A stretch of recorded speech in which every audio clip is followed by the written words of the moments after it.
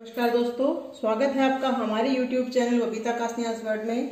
दोस्तों, आज की जो मेरी रेसिपी है वह है मठरी। मठरी आज मैं आपको एक नए तरीके से बनाने, बता, बताने वाली हूँ, क्योंकि मोस्टली हम नॉर्मल जो गोल गोल मठरी है, वो तो हम बनाते ही हैं। तो आज हम एक नए तरीके से मठरी बनाएँगे। इसके लिए मैंने डेढ़ कटोरी, ये डेढ़ कटोरी भर के मैंने मैदा लिया है।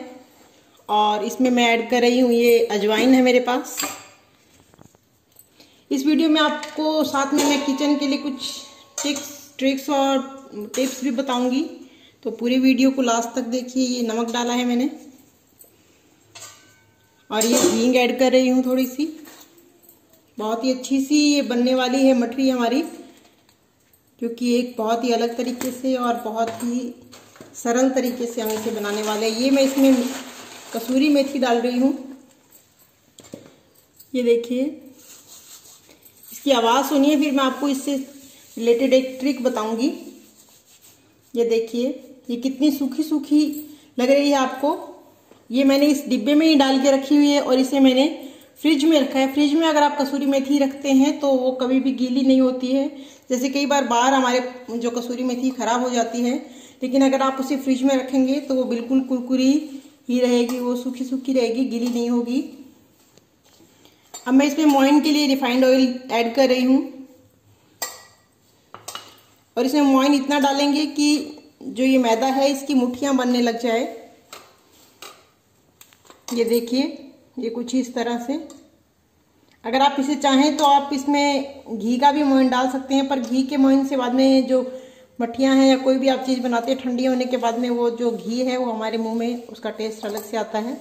इसलिए मोस्टली रिफाइंड का ही हम मोइन देते हैं। अब हम इस आटे को गूंद लेंगे। गुनगुने पानी से मैंने इस आटे को गूंद लिया है। अब हम इसे 10 मिनट के लिए रेस्ट पे छोड़ देंगे। ये 10 मिनट हो चुके हैं।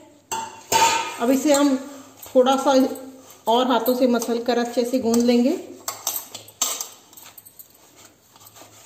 इस तरह से। और अब इसकी हम लोई बनाकर चपाती बेल लेंगे। ये देखिए, मैंने इसे पापड़ जितनी पतली रोटी बेल ली है। पापड़ से याद आया कि कई बार हमारे पापड़ हैं, वो बहुत ज़्यादा सीख जाते हैं, बहुत ज़्यादा हो जाते हैं।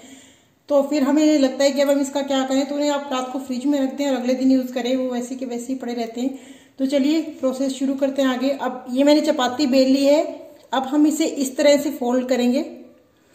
पास में चिपका चिपका कर इसे इस तरह से फोल्ड कीजिए, ताकि इसके अंदर हवा ना रहे।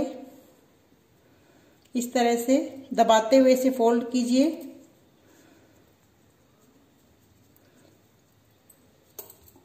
ये हम नई तरह की एक मठरी बना रहे हैं, आज अलग तरह से। साइडों से भी इसे दबाते रहें।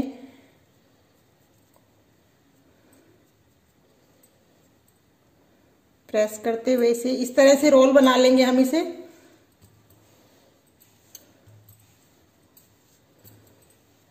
थोड़ा थोड़ा दबा देंगे ताकि जहाँ से थोड़ा गैप है चपाती में, वो सारा अच्छे से चिपक जाए। और अगर यहाँ से नहीं चिपके तो आप इसके पानी लगाकर इसे चिपका सकते हैं।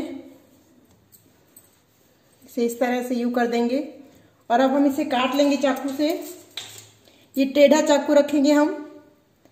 इस तरह। ये देखिए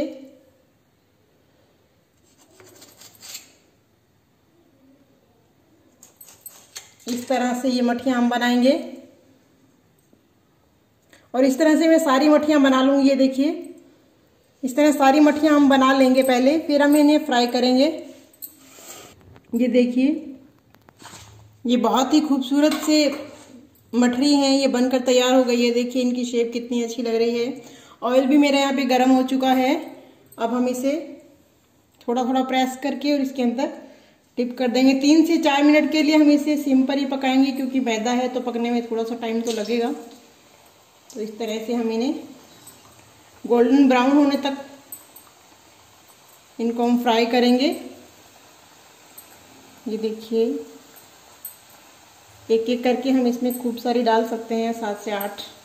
एक बार में हम इसमें फ्राई कर लेंगे।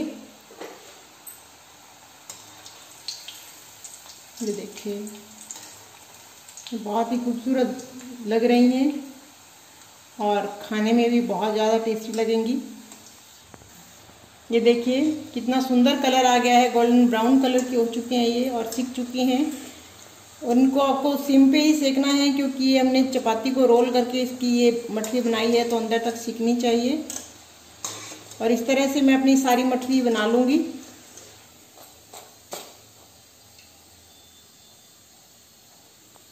ये देखिए, मैं इसे सर्व कर रही हूँ आपके लिए। इस पर थोड़ा सा मैं स्प्रेड कर रही हूँ चाट मसाला, जिससे इसका टेस्ट और अधिक बढ़ जाएगा। ये देखिए, इस दिवाली आप ये मठरी बनाइए, मुझे बताइए कि कैसी बनी। मेरे कमेंट्स अपने साथ शेयर कीजिए, मेरे चैनल को सब्सक्राइब कीजिए वीडियोस को लाइक कीजिए शेयर कीजिए। और चलिए मिलते हैं अगली रेसिपी के साथ। Thank you